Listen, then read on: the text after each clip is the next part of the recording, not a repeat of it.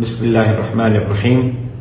آج کراچی میں منعقد ہونے والے پی ڈی ایم کے جلسے میں جن کارکنان نے شرکت کی، جن عہدیداران نے محنت کی، پورے صوبہ سندھ کے تمام اضلاع کے عہدیداران، کارکنان، ذمہ داران، محنت کرنے والے، تیاری کرنے والے احباب کا دل کے گہرائیوں سے بہت بہت شکریہ ادا کرتا ہوں، مبارکباد دیتا ہوں۔